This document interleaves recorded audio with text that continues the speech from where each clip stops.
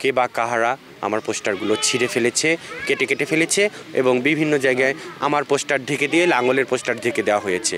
রাত্রে আমি পোস্টার টাঙিয়ে যাই, আমার লোক রাত্রে পোস্টার দিয়ে যায়, সকালে সেই পোস্টার ওখানে থাকে না, ওখানে লাঙ্গলের পোস্টার ঝুরে। এরকম একটা অন্যায় হচ্ছে আমার সাথে। নারী ও পুরুষ প্রার্থীর পাশাপাশি রংপুরে জমে উঠেছে তৃতীয় লিঙ্গের প্রার্থী আনোয়ারা ইসলাম রানীর নির্বাচনী প্রচার। রংপুর তিন আসন থেকে লড়ছেন তিনি। সকাল থেকে সন্ধ্যা পর্যন্ত চষে বেড়াচ্ছেন নিজ নির্বাচনী এলাকার এক প্রান্ত থেকে অন্য প্রান্ত। তার অভিযোগ, লাঙ্গল মার্কার প্রার্থী জি এম কাদেরের কর্মীরা তাকে ভয় ভীতি দেখাচ্ছেন। এদিকে রংপুর ছয় আসনের লাঙ্গল মার্কার প্রার্থী নূর আলম মিয়ার অভিযোগ, সরকারি ঊর্ধ্বতন কর্মকর্তারা তার প্রতিদ্বন্দ্বী নৌকার প্রার্থী স্পিকার ডক্টর শিরিন শারমিনের পক্ষে প্রচার চালাচ্ছেন। রংপুর জেলার ছয়টি আসনে মোট ছত্রিশ জন প্রার্থী রয়েছেন। শেষ মুহূর্তের নির্বাচনী প্রচারণায় ব্যস্ত সময় পার করছেন সবাই। রংপুর তিন আসনের মোট ভোটার সংখ্যা চার লাখ চুরানব্বই হাজার সাতশো চুয়াত্তর জন। পুরুষ দুই লাখ সাতচল্লিশ হাজার তিনশো পঁচানব্বই জন এবং নারী ভোটার দুই লাখ সাতচল্লিশ হাজার তিনশো সাতাত্তর জন। সেখানে তৃতীয় লিঙ্গের ভোটার আছেন দুইজন।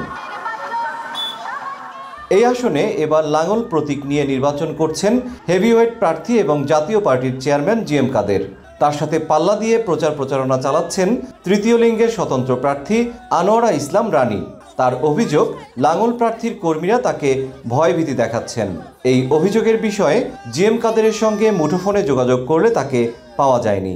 কে বা কাহারা আমার পোস্টারগুলো ছিঁড়ে ফেলেছে, কেটে কেটে ফেলেছে এবং বিভিন্ন জায়গায় আমার পোস্টার ঢেকে দিয়ে লাঙ্গলের পোস্টার ঢেকে দেওয়া হয়েছে। রাত্রে আমি পোস্টার টাঙিয়ে যাই, আমার লোক রাত্রে পোস্টার দিয়ে যায়, সকালে সেই পোস্টার ওখানে থাকে না, ওখানে লাঙ্গলের পোস্টার ঝুরে। এরকম একটা অন্যায় হচ্ছে আমার সাথে। এদিকে রংপুর ছয় আসনে নৌকার হেভিওয়েট প্রার্থী স্পিকার ডক্টর শিরিন শারমিনের বিরুদ্ধে সরকারের ঊর্ধ্বতন এক কর্মকর্তাকে দিয়ে নির্বাচনী প্রচারণা চালানোর অভিযোগ করেছেন একই আসনের জাতীয় পার্টির প্রার্থী নূর আলম মিয়া। আমরা কোনো নির্বাচনে কোনো বাধার সম্মুখীন হই না এই পর্যন্ত ইনশাল্লাহ আশা করি আমরা বাধার সম্মুখীন হব না। প্রধান নির্বাচন কমিশনের কাছে এটা আমাদের আশা।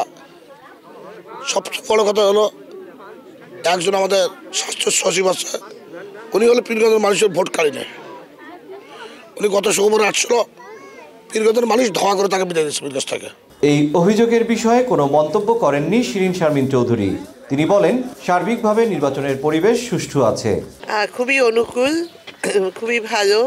মানুষের মাঝে ব্যাপক সাড়া নৌকার পক্ষে জোয়ার এবং মানুষের মধ্যে একটা খুবই উৎসাহ উদ্দীপনা কাজ করছে। সবাই সাতই জানুয়ারির অপেক্ষায় আছে তারা ভোট দিতে চায়। তবে নির্বাচনের পরিবেশ নিয়ে সন্তুষ্ট সাধারণ মানুষ। এখানে নির্বাচনী খুব জমজমাট চলছে।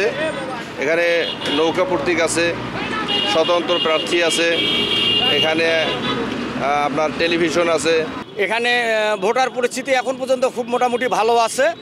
তবে কিছু কিছু বাজে কথাবার্তা শোনা যায় যে আমরা একটা ভোট পাইলেও নাকি নৌকা মার্কার এমপি হবে। সেন্টারে পরিবেশ নষ্ট করার চেষ্টা করে করে যদি জিততে চায় সেটা ওদের জন্য ভালো হবে না এবং জনগণ এটা মানবে না।